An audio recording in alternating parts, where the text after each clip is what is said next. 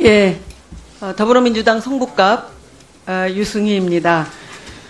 어, 구대영 사장님, 예. 네, 그 이정현 청와대 홍보수석의 그 녹취록 관련해서 어, 이제 KBS 김시곤 보도국장이 예, 이제 밝힌 건데요. 어, 이, 그, 의혹이 사실이라고 그렇게 해서 이제 인정을 했는데, KBS에서 자체적으로 진상조사, 어, 실태조사는 안 해보셨다고 그랬죠? 아까 답변에서. 예. 계속 안 하실 건가요? 어떻게 하실 건가요? 그 쌍방간에 얘기한 내용에 대해서 서로 틀려서요? 저희가 그게 네. 뭐 조사할 내용도 아니고 두 번째는 그게 프로그램에 음. 영향을 미쳤는지 여부도 지금 저희가 제대로 그- 아, 저희가 알기로는 영향에 큰 영향을 못 미친 거로 알고 있고 세 번째는 이 사안이 지금 검찰 수사 중입니다.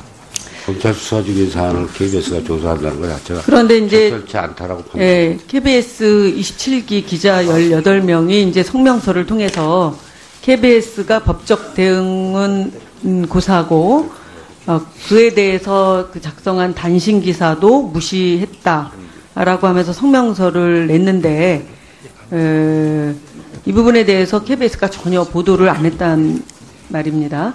근데 보도본부장 계세요? 잠깐 일어나서서 좀 답변해 주시면 좋겠는데.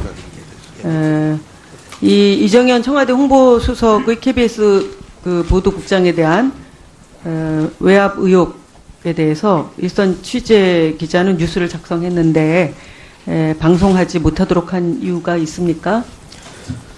의원님, 이거는 제가 보기엔 좀 적절치 않으신 것 같습니다. KBS 보도본부장은 보도를 책임자는 책임자입니다.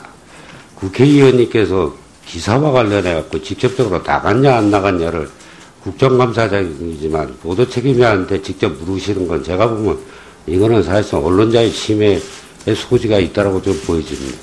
그럼 저한테 물으시면 제가 답변 드리겠습니다만은 보도본부장한테 직접 보도를 책임지는 보도 책임자한테 그걸 보도 내용을 물어보시는 건 사장님 지금 저한테 훈계하시는 거예요? 네?